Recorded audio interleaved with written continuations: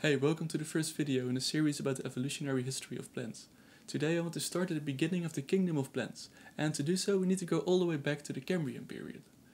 During this time the sea was teeming with all sorts of life, but the land was mostly barren with probably just some algae, bacteria and fungi around.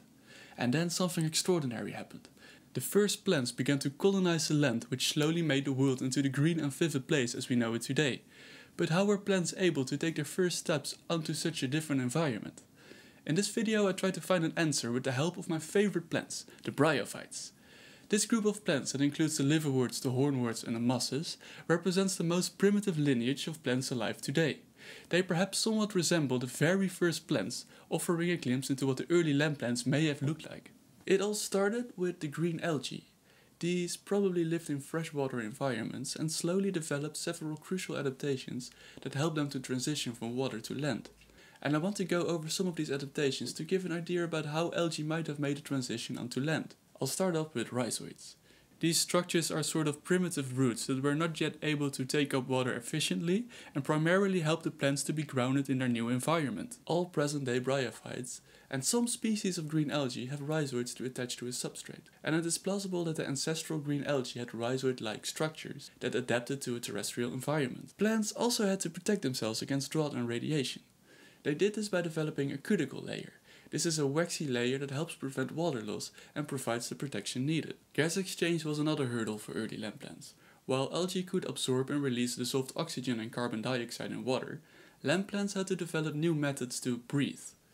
The introduction of stomata, which are tiny openings on the leaf surface for gas exchange, enabled the land plants to efficiently take up carbon dioxide and release oxygen. This adaptation allowed plants to thrive on land by improving their ability to perform photosynthesis and support larger more complex structures. Reproduction mechanisms also had to adapt to dry environments.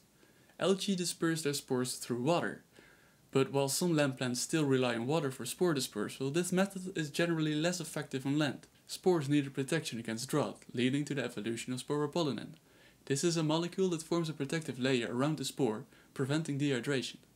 Today, sporopollenin can be found in the spores of all land plants. Lastly, many plants form intricate relationships with fungi to exchange nutrients. Fungi were already present in terrestrial environments before the plants, and they might have facilitated the early land plants in their nutrient uptake. This is called the mycorrhizal landing hypothesis. Very interesting, but also very hard to find evidence for. Well, these adaptations may have allowed the first plants to conquer the land, setting the stage for the lush and green world we know today.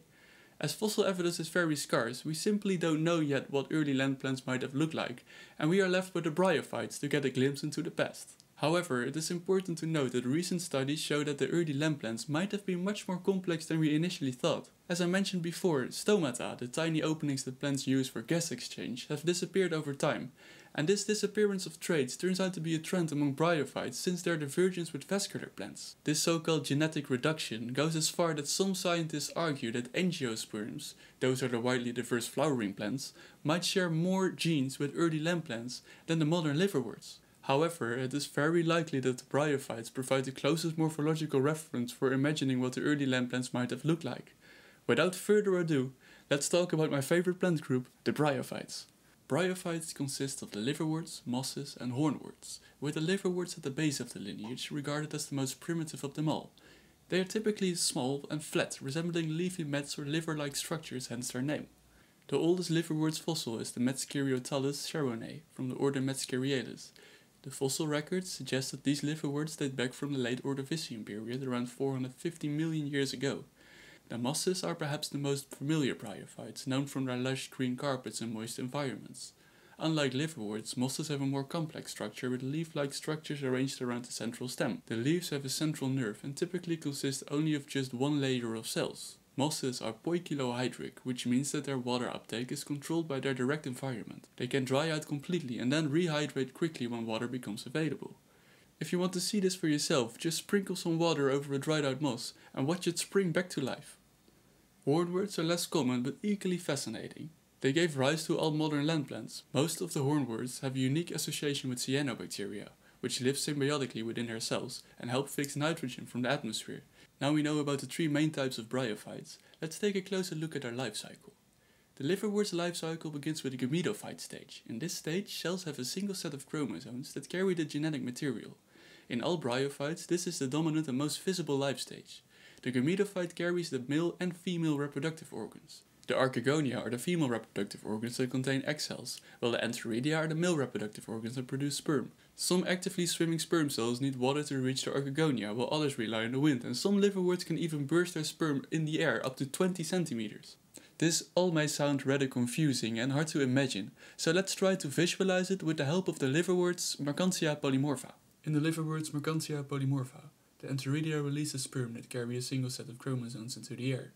When these sperm reach the archegonia, they can fertilize the egg cells, which also contain a single set of chromosomes. Upon fertilization, the sporophyte develops, carrying a double set of chromosomes. In the liverworts, this structure is typically small, measuring a few millimeters, whereas in mosses it can grow up to a few centimeters in size. Within the sporophyte, spores develop through meiosis. During this process, the genetic material in the double set of chromosomes is shuffled and halved in meiosis 1, and then the sister chromatids are separated in meiosis 2, resulting in spores that carry a single set of chromosomes. The spores are released into the air and can produce a new gametophyte. This completes the cycle. Next to sexual reproduction, asexual reproduction is also a common practice in bryophytes. There are various ways to do this, but Marchantia polymorpha does it with the use of gemma cups. These cups hold gemma, which when filled with water, spreads and generates genetically identical gametophytes. And now we know what bryophytes are and how they reproduce, I want to dive a little into their evolutionary history what does the fossil record tell us? Well, surprisingly little, as bryophytes have soft and fragile tissues that don't fossilize as well as most land plants do. Bryophyte fossils are often scattered and very tiny, making it challenging for paleobotanists to reconstruct their history. Occasionally, fossil bryophytes are found well preserved and in various life stages, making reconstructions feasible. An example is Naiadita lanceolata, about which a great deal is known due to the fossil record. I attempted to create a 3D reconstruction of this species based on several papers. This liverwort appears somewhat moss-like with articulated leaves, but phylogenetic analysis indicates that it is indeed a liverwort. It has gemma cups for asexual reproduction and an archegonium. However, the antheridium has never been found and remains a mystery. The most well-preserved bryophyte fossils are those preserved in amber. Amber, which predominantly dates from the Cretaceous period, provides exceptional preservation of ancient bryophyte specimen, such as these beautiful specimens from Ethiopia. I want to end this video with the closest traces we have of early pioneers of plant life.